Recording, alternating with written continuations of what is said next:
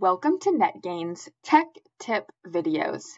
Today we will be showing how to attach a hyperlink to a word. First type the word or words you would like to have a hyperlink attached to.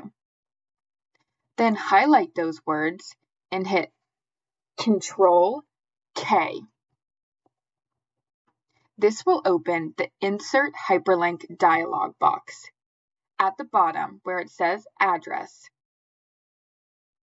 you can either paste or type in the web address you are wanting to link.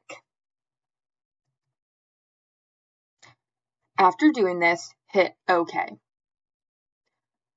When your word turns blue, that is how you know a hyperlink has been added. Thank you for watching and stay tuned for the next tech tip video.